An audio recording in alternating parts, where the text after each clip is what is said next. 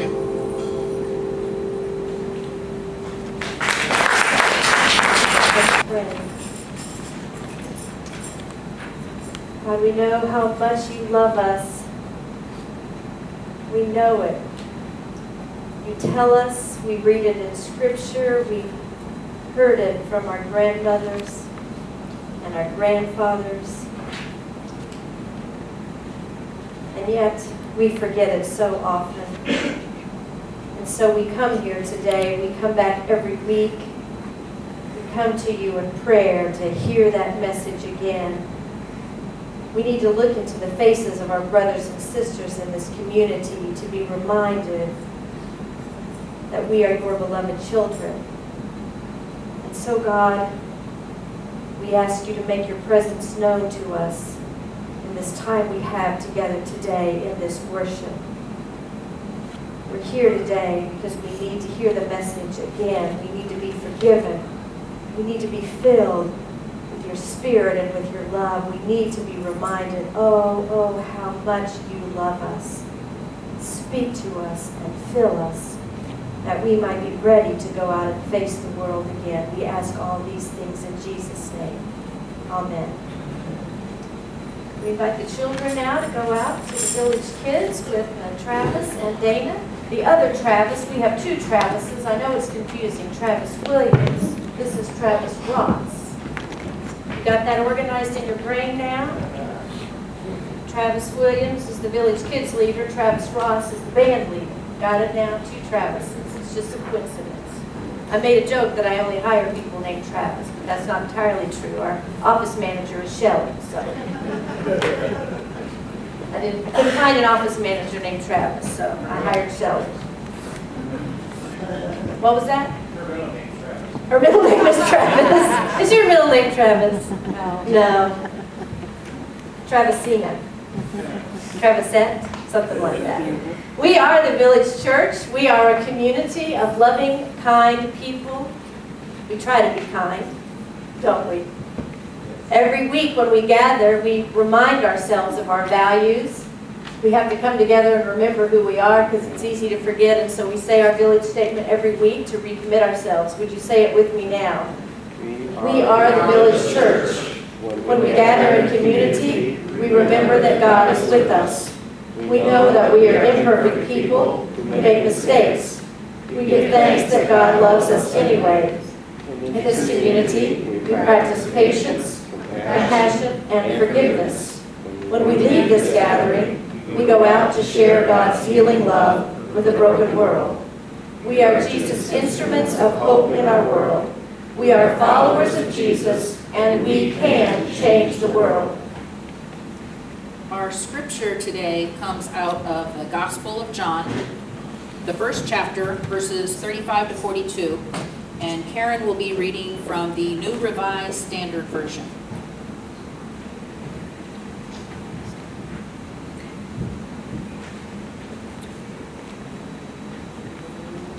John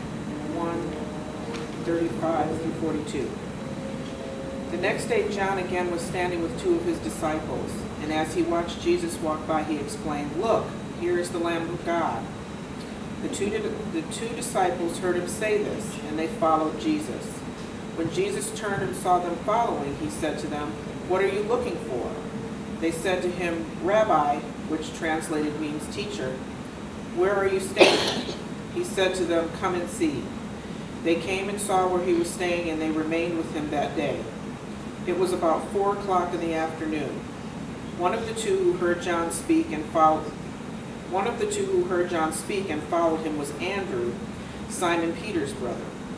He first found his brother Simon and said to him, We have found the Messiah, which is translated anointed. He brought Simon to Jesus, who looked at him and said, You are Simon, son of John. You are to be called Cephas, which is translated Peter.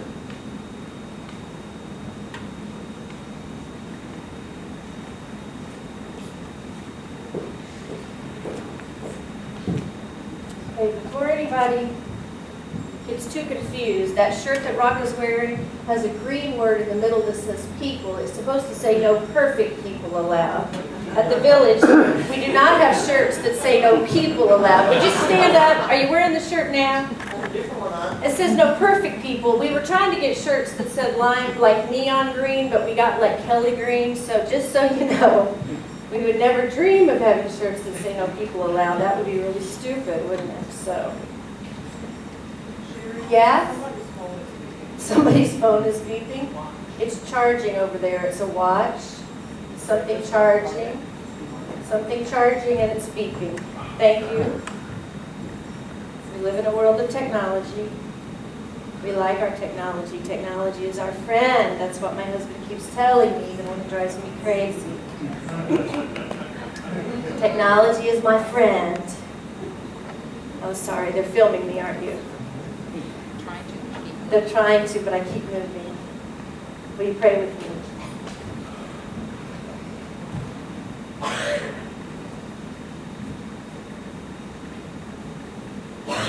God, we love you, and we know that you love us.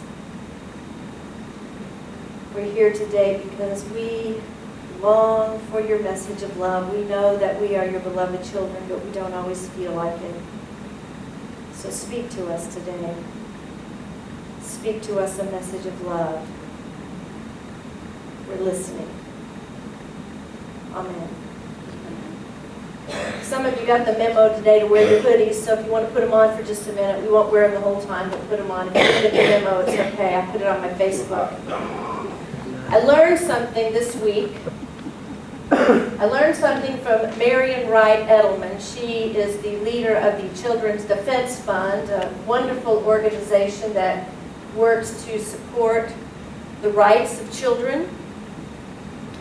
Marian wrote that parents who are raising black children, especially black sons in America, have a particular responsibility.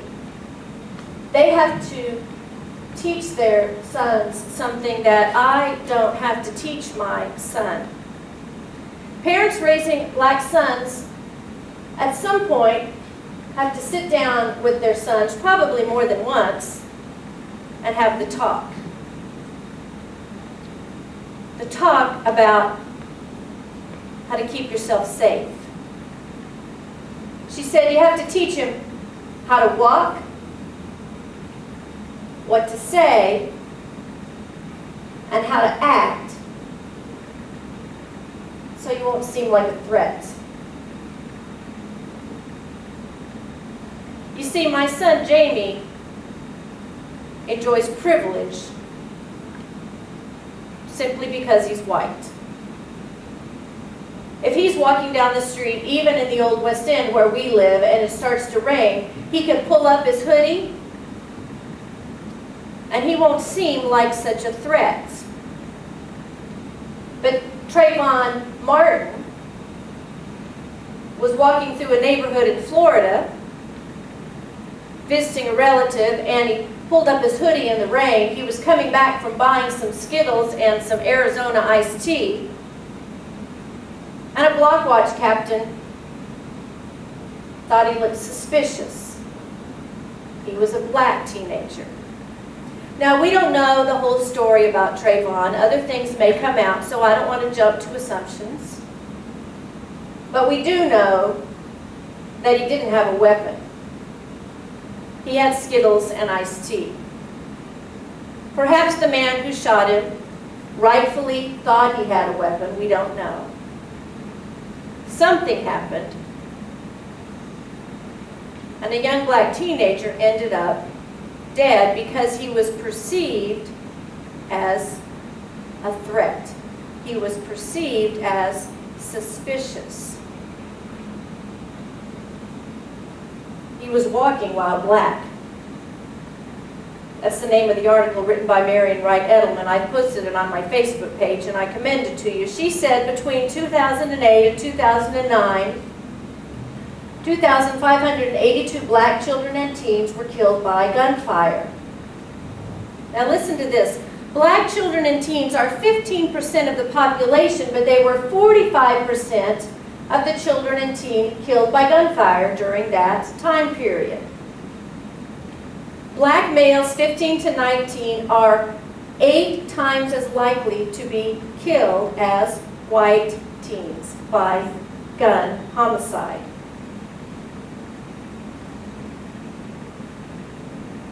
Some people think that the race issue is not an issue in America anymore. I would boldly say they're wrong. Here at the village, we follow Jesus so that we can change the world. Right? We follow Jesus so we can change the world. That's what it's all about. You could be doing something else today, right? What could you be doing this morning? Tell me. Sleeping. Sleeping? Watching TV? Playing video games? Yard work? Homework. What? Moving? Homework. With problems as big as the race issue and gun violence in our country, it seems kind of hopeless to think we can change the world. I mean, look around. Look around just this room. There's not that many people here, maybe 50 people here today. I mean, come on. Who thinks we can change the world? You people are crazy. For those watching at home, they just raise their hands. The Children's Defense Fund has a piece of children's art on its website. It's kind of scrawled in crayon and it says, Dear Lord, be good to me. The sea is so wide and my boat is so small. Look at all of us. The sea is so wide. This little boat we have here, kind of small. But you all think we can change the world. Who you been listening to? You. Jesus? One life at a time. It's how Jesus started and it's how we start. Well, last week we had a benefit concert down the street at the Village Idiot. How many people were able to drop by there? This picture is from there. We raised $400 and we collected 138 food items. Okay. We're going to do it again maybe next fall. Travis had a great time. It was a lot of work, but he said he'd do it again. Yeah? Yay, Travis and all the team. Our food went to a food pantry at the Lutheran Church down on Huron. I was really happy to hear that because we have a tie there. Tyanda has done a lot of work at that church. At Salem, Salem, Salem Lutheran Church. Some of you have been there. It's a great ministry. And uh, our, our money will go to help lots of the food pantries in town. And we heard Pastor Steve talk about how they will multiply that money. Hundreds of people will be fed through that $400. Well, between acts, I got up, I talked a little bit about the village. Uh, Pastor Steve talked about feed your neighbor, and Rock stood up and told her story. Now, Rock doesn't like to come to bars. Rock has been clean from drug and alcohol for how many years? 14 and a half years after some serious addiction. You want to tell me how many years you were addicted? No, she don't want to tell. Too many years, since she was quite young. Rock is not a professional speaker, that's not her job. But we twisted her arm a little bit, she came to the Village Idiot last week and spoke. She told her story. She told her story about this church because this church means so much to her. Rock moved to Toledo a couple of years ago to help raise her grandchildren. She didn't raise her own children because her life was kind of a mess. I don't think she'll mind me saying. But she had a chance a couple of years to get another start on life and come here and help her son by being the nanny after school for her two grandchildren.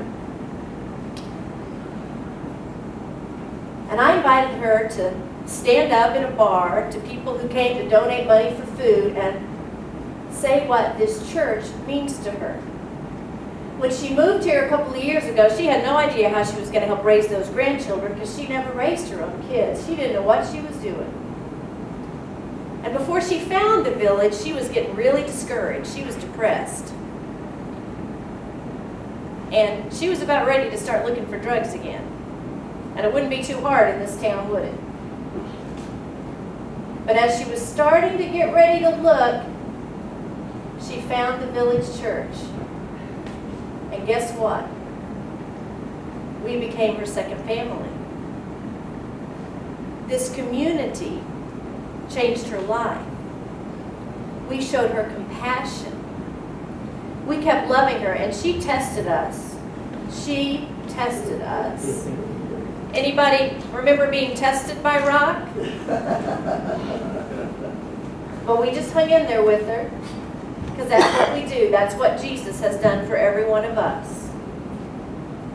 And now, a year and a half later, a year later, not only is she here, and not only is she leader, a leader of this church, and not only has she found her partner Beth, but she stood up in public and in front of a bunch of strangers and gave a witness.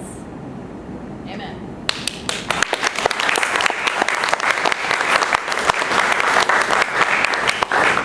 This community saved her. Saved her, but God used this community to turn her life around and save her.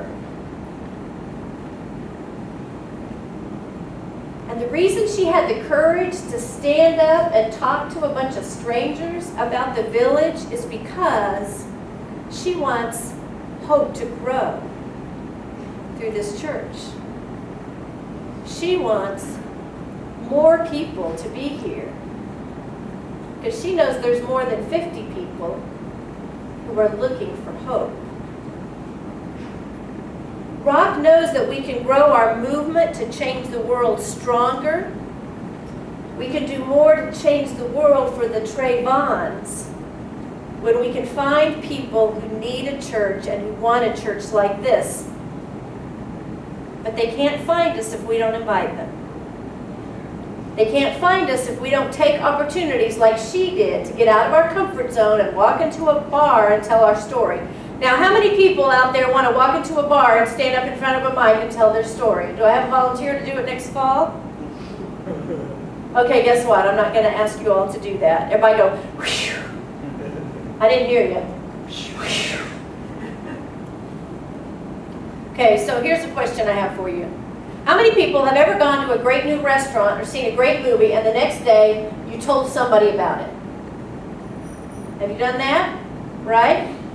You told a lot of people, you're like, I went to this great restaurant. You should check it out. Five Guys, hot uh, hamburger place, right? I shouldn't make commercials, right? Five Guys hamburgers, right? I saw this great movie. Yeah, well, Pat and I are vegetarians. We don't like the hamburger place, right? If there was a great new vegetarian restaurant in town, you better believe Pat and I would be telling people about it. Right? Becca and Kurt went to see the Hunger Games on Thursday night. Everybody's talking about the Hunger Games, right? I don't really want to go see that, but I may have to take Becca the second time. Over the next two weeks between now and Easter, I'm going to ask you all to think of five people you can give an invitation card to come to Easter Sunday at the village. Easter Sunday. Now I know some of you have already invited everybody you know to come to the village. Raise your hand if you've invited everybody you know to come to the village. And you're just waiting for them to come. And okay, so here's the thing. If they've already shown some interest in coming, but they haven't come yet, you can take them a card and remind them that Easter Sunday's coming up. Because you know what? I don't care if people only come to church on Christmas and Easter. I, I don't want you to scold people who only come to church on Christmas and Easter. Because if they come once, they might come back. Okay? And if they come on Easter and then they have a crisis in their family, guess what? They're going to say, I have a church. It's the village. They're going to claim us. So don't you scold people who only come on Christmas and Easter. They need a church, okay? And we're their church. But here's the thing. Those of you who raised your hand said you've already invited everybody you know. The average person knows 200 people. How many people have invited 200 people to church? Okay, Kurt and Becca, they think they have. They, they may have. But you know more than 200 people. You're not average, okay? But in our heads, we make this a scary thing. It's scary. I know every one of you out here thinks, oh, it's scary to invite people to church. They're going to think I'm a holy roller. Oh, or they're going to reject me. You're scared of rejection. Are you scared? Are you scared of rejection? Somebody's going to say no. Are you scared of rejection if you tell somebody of a great restaurant and they say, I don't like hamburgers? Is that scary? No. We're not afraid of telling somebody, I love the Hunger Games, you should go see it, right? And they say, yuck, I don't want to go see that. That's not scary, right? So why is just telling somebody about church, why is that so scary? I know it is. I know it is.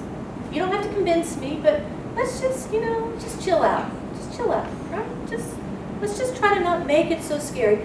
You would be surprised at how many people are just waiting for an invitation. So let's look at today's scripture. In today's scripture, Jesus is just beginning his ministry, all right? He has just met John the Baptist. John has baptized him. And some of John's disciples come across Jesus. Now they can sense that there's something special about Jesus. There's something special about the village, right? We sense that. These disciples, they're curious.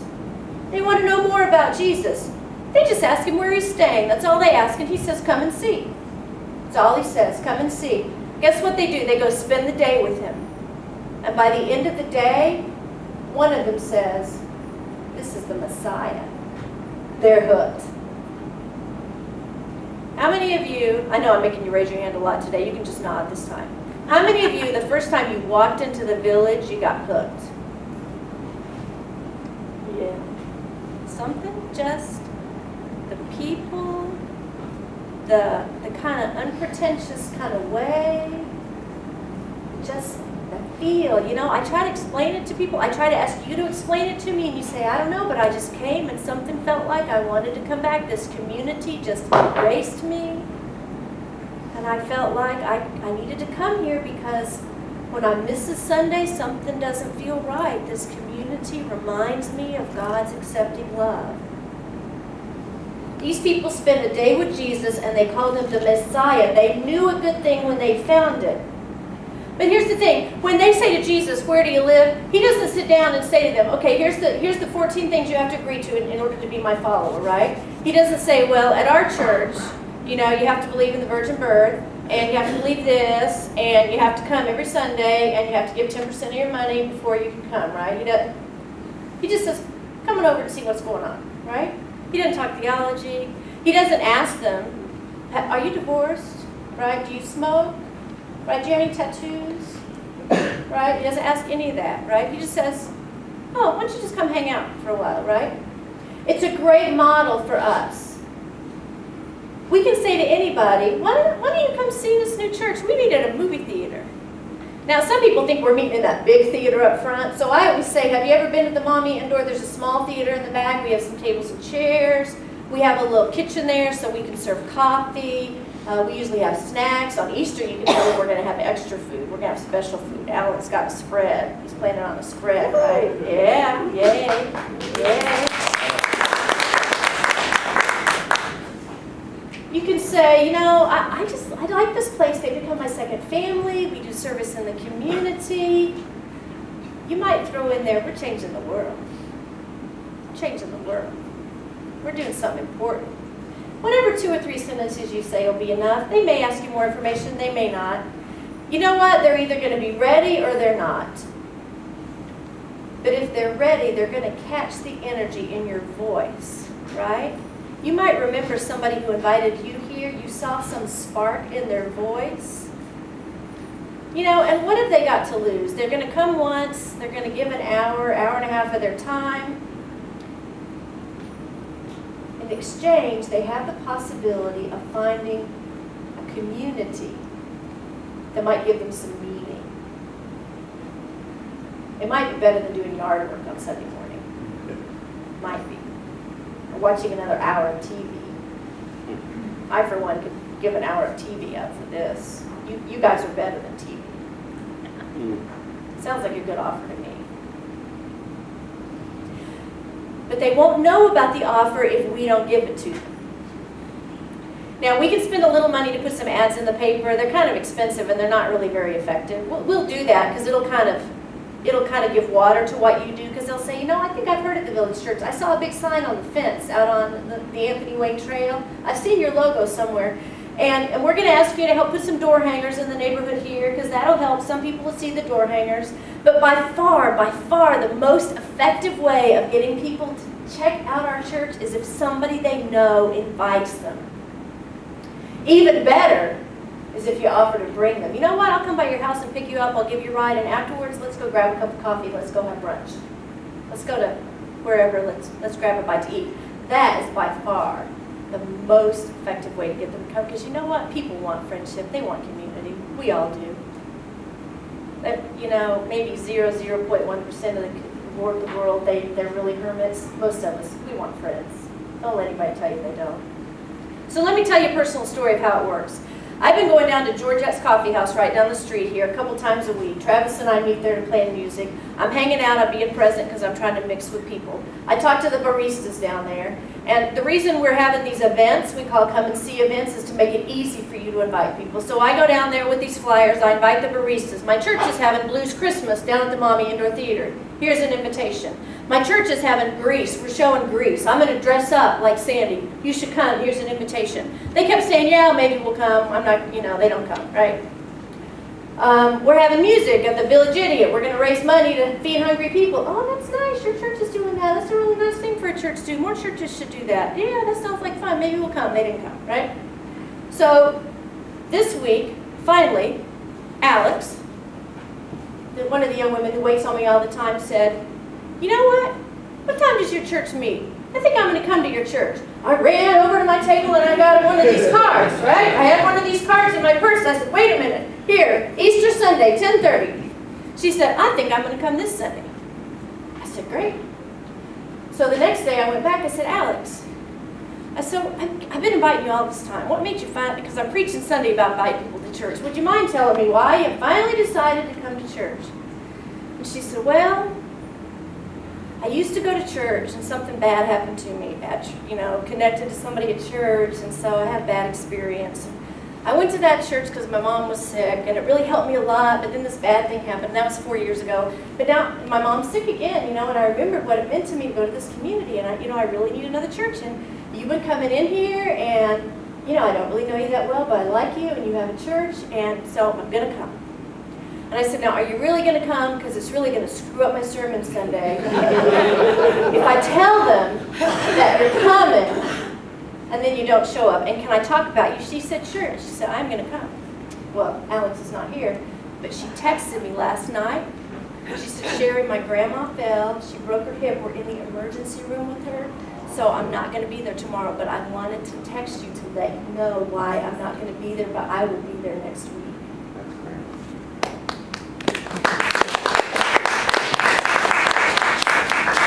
And I said, Alex, we will pray for your grandmother. And I will see you at the coffee house this week. Now, I was a little worried about putting her on the spot because I'm going to keep her at the coffee house and I don't want her to be embarrassed if she doesn't come to church because, you know, then it gets all icky and everything. But I think Alex is going to come because she, she really, she's 22. She quit, or maybe, maybe only 20 because she quit one when she was 16. But church meant a lot to her, but she had a bad experience. But she, I think she's going to come. She really wants to come. She's going to check it out anyway. Alex was just waiting for somebody to ask her. She's not my best friend. She doesn't even know me. She does not know me. All she knows is that I stand at the counter a couple of mornings a week and I say, how's it going today, Alex? She says, I'm tired. I was up late. Or she says, I'm good today. How are you? I've got a cold. Uh, she does not know me. She doesn't know me. She knows I'm a friendly person who comes to her coffee house and the Travis and I sit there a lot and and she didn't she didn't she knew he was the band leader. She didn't even know I was the pastor. She thought I was just some crazy woman who kept nagging her to come to church.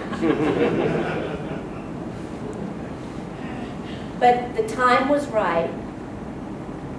She needed a church. She needs a church. And somebody just had the guts to say, here's a card, why, why don't you come to my church? Alex wants the world to change too. I learned a little bit more about Alex in talking to her. I got her hooked up with some other people I know who are doing some other things to change the world. She wants to change the world. She wants to make a difference. I have a feeling she's going to like it here. I know you've invited some people to church. I know you have friends who already go to church or have already told you they're not coming. There's probably 200 people that you see every week. Somebody probably is right, right to come to the village, but you just don't know who they are. God hasn't showed them to you yet. I'm going to invite the band to come up here and sing a song now. While they're singing, I want you to think about who might you invite. I'm going to invite us all to invite five people to Easter Sunday. Think about who you can invite to come and watch Hope grow with us.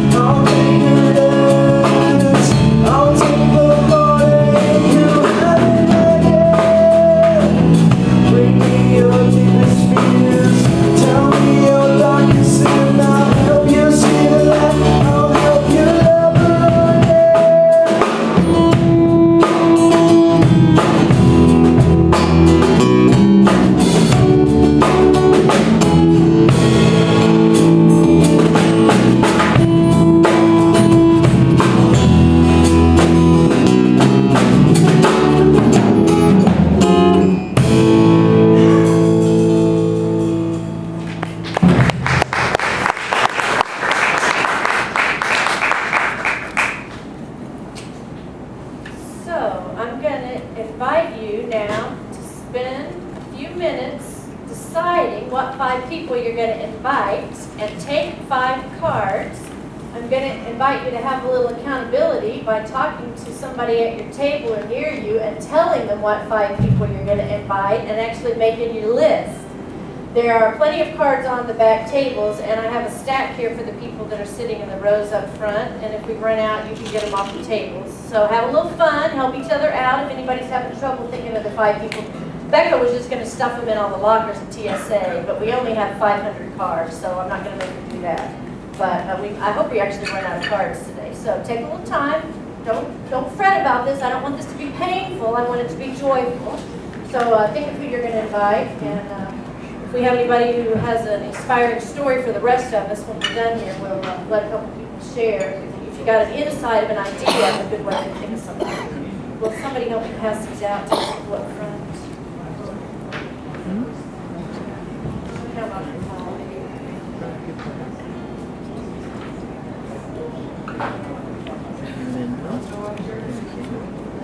And if you need to write down a prayer concern and haven't done that, you have a minute or two to do that. Make sure the band gets it too. Well, I'm already out. You're already out. Well, there's Yeah. extras on the table. The table's somewhere. Okay.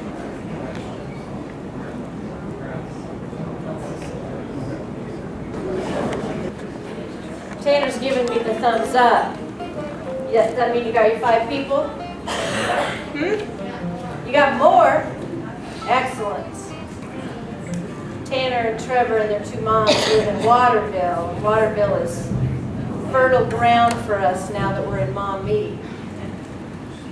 Anybody got a story to share or an idea to share? Did you get any good ideas? Stand up and tell us if you did. Any good ideas that might give encouragement to other people? Have you invited anybody and it went well? Nobody's bashful. Nobody has any stories to share. That's okay. Yes, Karen? Uh, Trying to think of how, did I really invite her? I have a, I, I email a gratitude list to a number of people, and I put the village on there, my church or the village church or something, and most of the people who know me know how anti-church I've been for years, and they, she was so surprised that I, the church was like, I gotta check this out. So I, that's kind of a backdoor approach. It's all good. It all works. So she put it on her face, on a, On a on a gratitude. gratitude list that she was coming to church and people were so surprised that there was a church you would come that they came to check it out and they're coming to church here. So there you go. Yeah. A lot of people post that they came to something at the village and they liked it. I see that on your Facebook and that's a way to do it. Sure. Kurt? I've, I've got a real easy one. I'm gonna do it right now. Get out your phone if you've got it, and if you've got a Facebook app on there, and check in at the village. People know you're here, and by the way, the more check-ins we get, more visible face, uh, on Facebook the village becomes. So you can check in. just So you have us listed at the village at Maumee, at the Maumee the Theater. So village church, if you're sitting here and your location can find you, you just type, start typing village or the village, it'll pop up. you can just check in here on Sunday morning. So we'll have check-ins. While I talked, I just did. just like you check in anywhere else. And if Kurt's just speaking Greek to you, but you have Facebook, he can teach you how to do it after church. Russell's walking over to get a lesson. Kurt is the social media guru of the village, one of them anyway.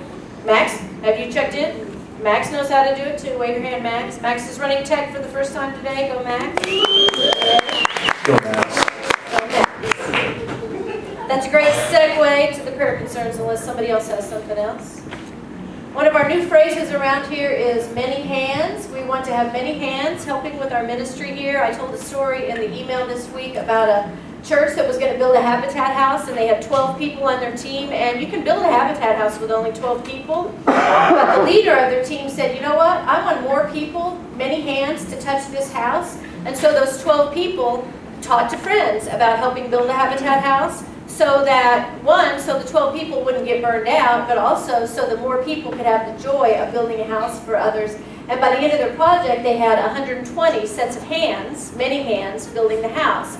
And so more people got to share in that wonderful ministry. And so one of our phrases around here now is many hands, and everybody who's leading a ministry, we're encouraging folks to think about how can we get many more hands involved in the ministry? One, so that our leaders don't get burned out, and two, so that many more people can share the ministry of the village. So we have several people now that we've moved to this new site that are looking for many more hands who can help with their ministry. Todd is looking for people with a smiling face who like to be greeters on Sunday morning, who will just stand at one of the doors and welcome people, but also look for new people and give them one of the wonderful gift bags uh, that Jody has been creating that have s'more kits inside of them. I think that's got to be the best gift bag in town.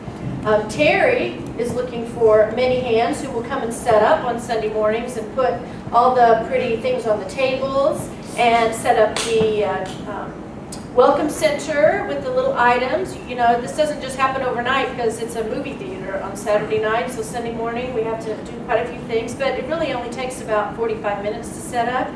So if one Sunday a month, you and your friend or your kids would come about 45 minutes early, or actually about 9 o'clock, maybe an hour and a half early. I don't want to fib to set things up, that would be awesome.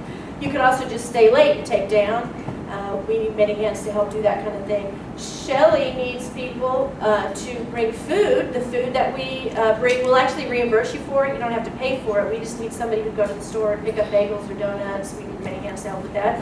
And Terry needs Uh, people to help collect the offering. Uh, Yes, and uh, we feed the hungry today. Oh, and um, there's a project to help feed the hungry at Collingwood Presbyterian Church in the Old West End. Is that right? Is that today? Yeah, so if you want information about that, you can talk to me or to Terry afterwards. So um, let us know uh, if you want to know more information about any of those ways. We like to have as many people involved in the ministry uh, so that we can grow and continue to grow hope. So let me offer these prayer concerns that were shared by the congregation. Shelley asks for prayers for her mom and friend Alice and her stepmother Judy for healing and comfort. Beth asks for prayers for her sister Celia, who's fighting colon cancer, and for her brother Les, who has health issues, and for Rock, who uh, has health issues. And then Rock asks for prayers for Beth, who's having surgery tomorrow. And Karen asks for prayers for her friend Michelle, who has uh, is dealing with lupus. Patrick Garvin asks for us to continue to pray for his partner Jim Milton, and thanks that his biopsy came back negative. That's great news. And Russell wants us to remember that our friend Edie Recker uh, has traveled to Pennsylvania, and Edie is having her gender confirmation surgery tomorrow, which is big, a big deal. She has been waiting a couple of years for that and preparing for that. And there'll be updates on Edie's Facebook page, and we'll also put those on the village Facebook page. So we want to pray for our friend Edie. Um, and of course, as I mentioned in the sermon, uh, we want to pray for uh, the family of Trayvon in Florida and for many people across this country who are affected um, by gun violence and by um, all the situations are connected to that. Pray with me now?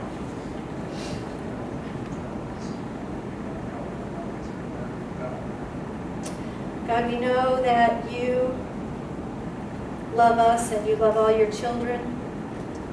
We have named many situations that are dear to our hearts, and God, we simply ask you to offer your healing and your mercy and your comfort to your people. We pray, O oh God, that you might give your care to people who are dealing with health issues. Keep in your care those who are facing surgery. Give your wisdom and your strength and your steady hand to surgeons and to all those who are caring for those we know and love. God, we pray for our country. Many eyes are on a tiny town in Florida where one situation has brought the world's attention to the continued struggles we have with people dealing with people. God, we pray that we might continue to deal with stigmas, with stereotypes, with perceptions. We pray that we might continue to deal with violence and find better ways to deal with our problems. God, we pray for an end to the violence that continues to result in children losing their lives. God, we want to make a difference. We want to change the world. Pray that you would use us as followers of Jesus to change the world. God, give us courage.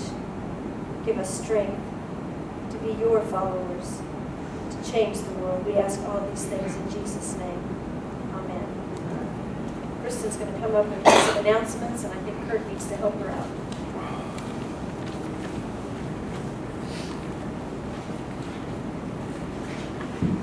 Holy Week is upon us, and as you can see from the uh, program, um, we are going to be partnering with Park Congregational United Church of Christ down on Harvard um, for the different events during Holy Week. On Monday, Thursday, April 5th, we'll have a communion service. That'll be led by Park Church.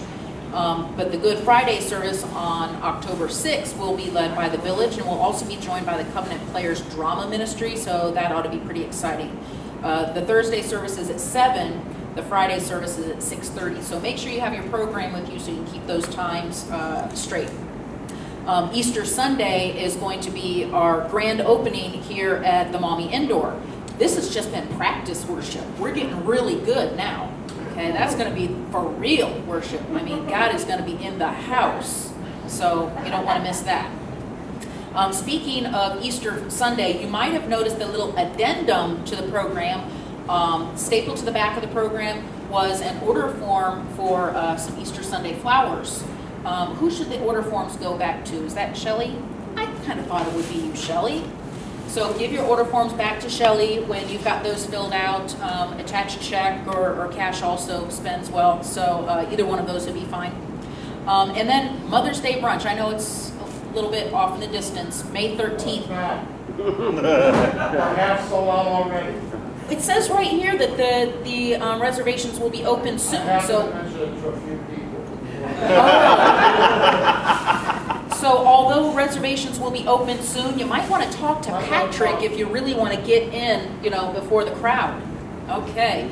And uh, further information you can get from Patrick on that event. Uh, we are going to be uh, helping out Maumee Domestic Court so that we can provide a Mother's Day gift to those who have been affected by violence.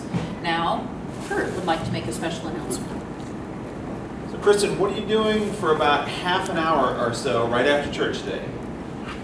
Well, I was going to have a meeting, this lead team meeting today. Well, we can put that off for a little bit, and you know, I'm sorry, by the way, about for you and the Gators know, I knew you and the bring that up. Spartans, Okay, and. I'm praying for all that we lost on the tournament and all. But here's the deal: um, I've got 50 door hangers right here. Oh, 50's easy. If you walk out the door and go down William Street here, when you hit when you hit about 20 minutes that way, turn around, come back at the other side of the street. You will have invited oh 200 or so people. Think you Now, I'm a science teacher, not a math teacher. You said a half hour, and I'm thinking 20 minutes out is going to take me at least 20 minutes back unless I double time it. That's 40 minutes. That's not a half hour. Okay, I fibbed a little bit. How about uh, 20 minutes out, 20 minutes back, or 15 minutes out, 15 minutes back? I can probably handle 15 15. How do you get 200 people with 50 rooms? That's what I want to know. About four a house. Good question. Thank you. Yeah, there's about four people in the average house in America. And we're trying to get, I haven't told the pastor this, we, we got 2,000 of those. That's about 8,000 people. That gets us closer to what we really want to have here on Easter. But, okay, let's go back to Pastor. Yeah, we're over time here. The quick version. This is not going to get that many people. Okay, sorry. What's going to get you lots of people? Those little cards on your table. Okay, but we need people that don't know us. This is going to help people know us. They're little tiny door hangers. Hold this for a second. All you do, you don't have to be a people person even. All you do is you walk out the door. By the way, if they got a sign that says no solicitors, be respectful. Just walk away. It's okay. They don't want one of these. If somebody tells you, I don't want one of those. Okay. Thank you very much. Sorry to disturb your Sunday. But you do this. Be a door handle. And walk away. That's it. You're not intruding. You're not evangelizing. Nothing scary. A little walk with a purpose. So come see me afterwards. We got lots of these bags. You can just go. I'll give you a street. 15 minutes out, 15 minutes back. Better math teacher? Yeah. All right. Thank you.